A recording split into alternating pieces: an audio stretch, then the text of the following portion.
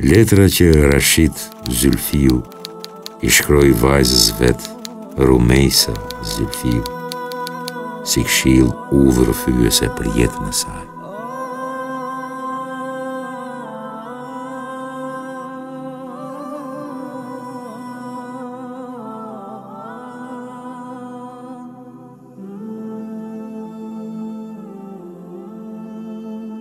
Bija ime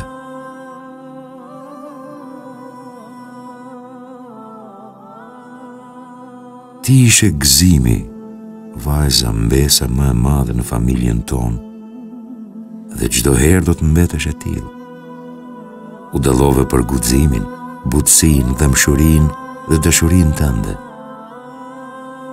Në mesin e shoqeve u tregove gjithnjë bamirëse.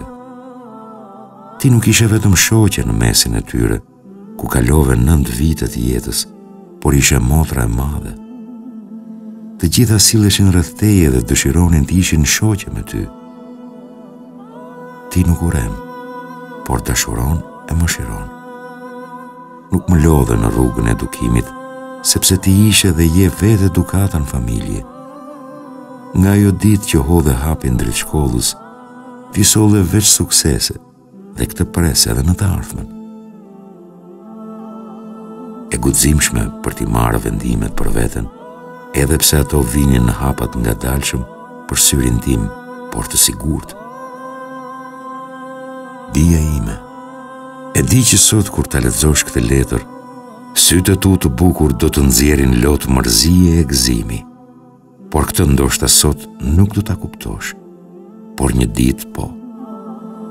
Një ditë kur të bëhesh nënë, do ta kuptosh se edhe ne mërzitemi për ty. Edhe pse nga mëshira ndaj teje mundohemi t'i fshehim lotët, vetëm që ti ta kuptosh se ne jemi të fortë dhe përkrahësit e tu deri në fund. Bija ime, deri sot ishe pranë nesh nën vëzhgimin tonë dhe përkujdesjen tonë si prindër. Dije se ne nuk jemi me ty, por mos harro se Zoti të sheh, e kjo është gjëja më e rëndësishme për jetën tënde. Kurrë në jetë nuk kam dashur të të edukoj që të frikësohesh apo të turpërohesh nga ne.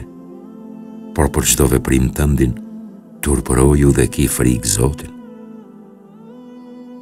Nga sot nuk do ta dëgjosh fjalën, a e ke falur namazin? Por duhet ta kuptosh se namazi, lidhja, komunikimi me Zotin tënd për jetën dhe ahiretin tënd, është si oksigjeni në këtë botë. Mos e anashkalo namazin.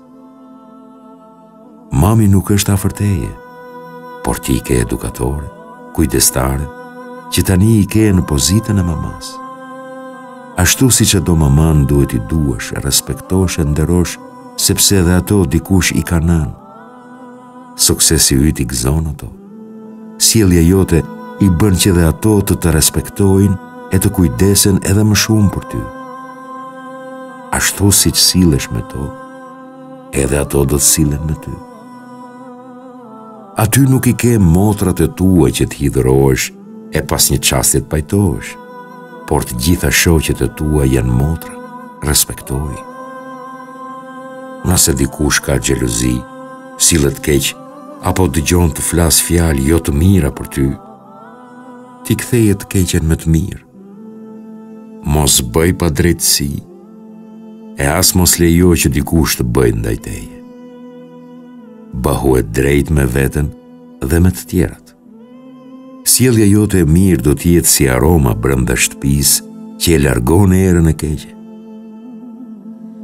Dije se në rrugë nuk përfaqëson vetëm veten, por ti je pjesë e një familje, të thonë vajza e filanit, ruaje prestigjin e familjes. Ti mban mbulesën islame. Respektoje dhe me sjelljen tënde hijeshoja dikujt mbulesën sepse ti je ambasadore e vogël e një feje shumë të madhe. Në jetë ka sfida, fjalën e fundit mos e thuaj të parë. Njerëzit nuk mund t'i bësh si vetja. Respektoje mendimin ndryshe. Kuptoje se njerëzit nuk janë të njëjtë. Nuk mund të arrish t'i kënaqësh të gjithë. Por me rëndësi është ta njohësh vetveten dhe të vazhdosh drejt synimit tënd. Bija ime, çdo andërr apo problem që ke, bahu si Jusufi, që ia tregoi babait të tij fillimisht. Tash e ke kuptuar që andrrat, dëshirat, synimet, problemet me të cilat ballafaqohesh në jetë, së pari shpalosja njerëzve më të afërt, ata janë prindërit e tu e jo dikush tjetër. Aty ke profesorë, Kolegë të mi, të cilët ndryshojnë nga ata që të mësuan deri tash. Nëse dëshiron që dikush ta respektojë babanë tënd, respektoji ata. Dëgjoji këshillat e tyre dhe kurrë mos të të vijë turp kur është fjala për dije. Pyeti ata. Mëso, lexo. Studio sepse çdo lëshimi sot do t'ia shohësh pasojat nesër në jetë. Le të jenë ambiciet e tua të mëdha sepse nesër familja pret prej teje shumë dhe shoqëria ka nevojë për gra si ti. Bija ime. Sot ti vendose të jesh pjesë e një karvani brenda vatrës më të madhe të dijes në këtë vend. Ajo vatër ka si shtyllë dashurinë, nënshtrimin dhe respektin për Zotin e pastaj atdhedashurinë. Këto dy vlera i ruajti dhe po i ruan ende. Ti u bëre pjesë e bankave të burrave, grave, dijetarëve, hoxhallarëve, luftëtarëve, dëshmorëve që ishin pjesë e saj. Sot ti u ule në bankat e shkollës, ku babai yt ishte ulur para 21 vjetësh, për ta ruajtur dhe kultivuar këtë traditë që dalëngadalë po bëhet pjesë e familjes sonë. Bereqeti i kësaj shkolle na përcjell edhe sot.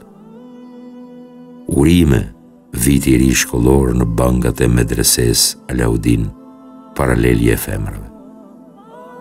Të priftë mbara, qofsh nën përkujdesjen e ati që të ka krijuar dhe të ka udhëzuar deri tash. Babi, mami, familja presin që ti çdo ditë të na surprizosh me suksese. Të dua. Babi 4 shtator 2017 Gjilan